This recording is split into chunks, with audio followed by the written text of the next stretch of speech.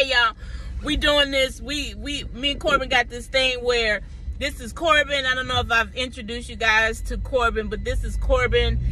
And we got this thing where we will we'll listen to the word of God. And when we listen to it on the Bible app, um, we talk about it. That's that's called training your children up in the instructions of the Lord. And so today we were listening to Second Kings chapter 8, and I just got so excited. And I said, Corbin, Corbin, what you know, what did the woman get? What did the woman get? And I'll drop the story later and I'll come back and read it later. But I just had to tell y'all this right now. I'm so excited because this woman in Second Kings, she did what, Corbin? She didn't work for. She got something that she didn't even work for. See, we too busy out there. That's what he said. She got something that she didn't even work for.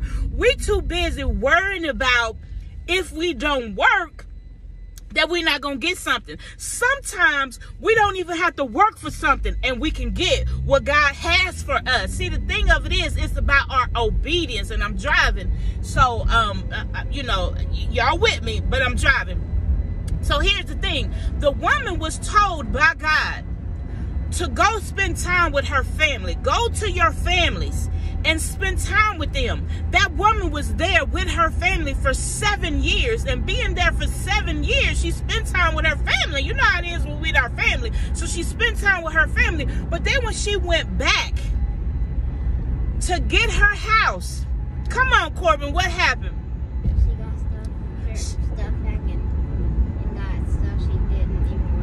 She got her house back and she got the income that she would have worked for. That's how God blessed her. See, this woman didn't even work for the income. She got the income that she would have worked for simply because she was obedient to what God had told her to do. We got to be obedient at all times to God. If God tell us to go, we might want to go. If he tell us to stay, we might want us to stay. If it stay, if he tell us to listen, we got to listen. He tell us to meditate on his word day and night. Meditate on the word day and night, which means read it, think about it, talk to the Lord about it. Lord, your word said this. What does that mean for my life? Baby, I am so excited for Second Kings chapter 8 because this woman was told to go and be with her family. She was with her family for seven years. And when she came back, because of her obedience, she got her house back and she got the income. Come on, Corbin, what? She got the income at which she would have worked for. This woman didn't even have to work for her blessing. All she had to do, she had to do what, Corbin? What she had to do? What she had to do to get it? Get it? She had to be what? She had to be obedient. She had to go with her family, which meant she had to be obedient. We got to be obedient to God. Psalms chapter 1 verse 2 says, meditate on the Lord day and night. That's what he tell us to do.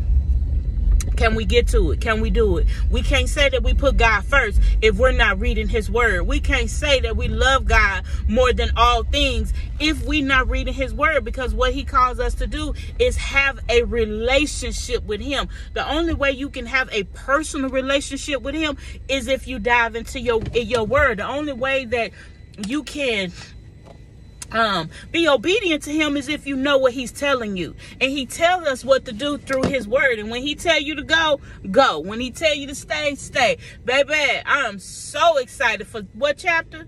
Second King. What verse? Eight. Oh no, no, not verse eight. It's second king. I said that wrong. I said that wrong. But it's is uh is uh second Kings chapter eight it's the first few verses, but I'll drop the scriptures later. But I just had to get this on video so I can tell you guys. I'm going to come back later and I'm going to read it. But right now, I was just so excited in this car, just yelling. Was like, "Woo!" We just, we just yelling. We excited for what God is doing in our lives. Listen, the enemy comes to kill, steal, and destroy, and he is trying his best to destroy you, destroy your relationship with God, destroy your family, and you can't let him. You cannot let the enemy destroy you. The Word of God, Ephesians six and 10 says, put on the full armor of God. Your full armor is the word of God. You have to put on the full armor of God. Got a little choked up one second.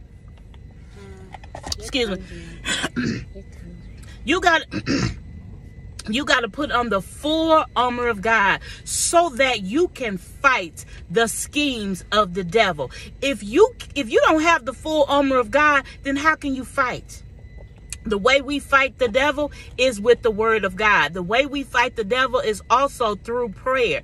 Prayer and the word of God. That's the only way we can fight the devil. He is here. He is fighting us. He's throwing out his fiery darts. The only way you can put him out is with the word of God. So I encourage you guys to stay in your word. It's a new year. It's 2020.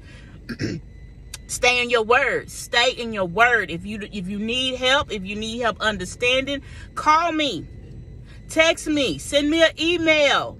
I don't mind giving you helping and giving instructions about the word of God. I'm teaching Corbin. Ephesians 6 and 1 says, train your children up in the instructions of the Lord. Me and Corbin reading our Bible. Corbin listens to Bible stories on YouTube. We read the Bible. We do whatever it takes to grow our relationship with God. And we're not accepting the fact that the enemy is trying to kill us. We're not accepting that. He can try, but he not gonna succeed. So if he ain't gonna succeed with us, he's not gonna succeed with you. You guys have a blessed day. I love you, Corbin. You love him. I don't know how I love him. You're supposed to love all people. All people. My child is funny. I know, literally, I don't know. Who That's love okay. him. Whoever whoever sees this, we love them because we love all people. Because God said to love one another as you love yourself. So we're gonna love all people. We're gonna teach whoever whoever has the ear to listen to whoever has the ear who hear. We're going we're going to teach the word of God. I'm gonna teach Corbin. I'm gonna teach you. I don't have a problem with it, and we're gonna pray. Let's pray. You gonna pray? Can you pray? No, you pray. I pray. Thank you, Lord. We come to you in the name of Jesus, Father. We just thank you for your word. We thank you for Second Kings, Father God. We thank you, God, for giving us example of this woman who was told to go to her family, Lord. And when she came back, you blessed her, Father God. You blessed her while she was with her family. You blessed her when she came back with her home and the income that she would have received, Father. So we thank you, God, for this example you've given us through Second Kings. We thank you, God, for the love and the protection that that you give us each and every day. Lord, we thank you for grace and mercy. Lord, we ask that you would help us to be to no lead us, God, in any direction that we're supposed to be in. Lord, don't let us go outside of your will, Lord. I pray, Father God, that you would bless each and every person who is under the sound of my voice, God. I pray that you would guide them. I pray that you would give them your wisdom. Lord, I pray that you would help people in this world know how to love each other the way you have taught us to love. Lord, we love you. We praise you. We thank you in all things. In Jesus' name we pray. Amen. Amen. Amen. You guys have a blessed day. Follow my channel. Share this message with somebody because somebody needs to. We on live. We on live and I'm to post this. Stop share this message with somebody because somebody needs to hear it somebody needs to hear it somebody needs to be excited it was second kings chapter 8 and i'm gonna just drop it because i'm about to post this right now in the name of jesus. Love you guys. Bye